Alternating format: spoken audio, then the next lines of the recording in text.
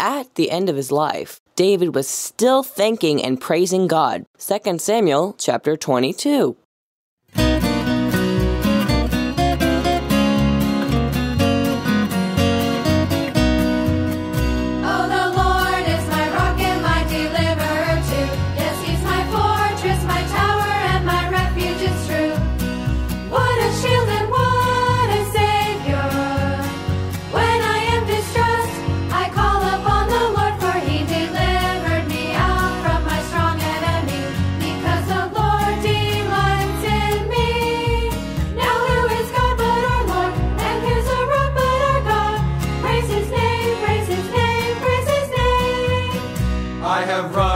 A troop and jumped over a wall.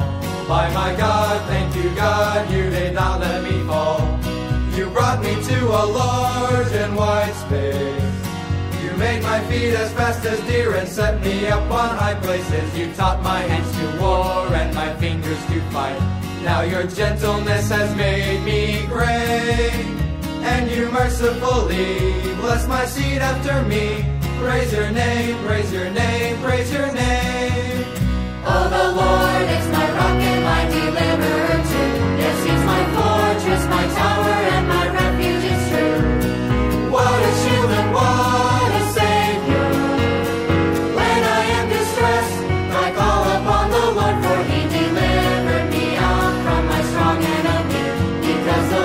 my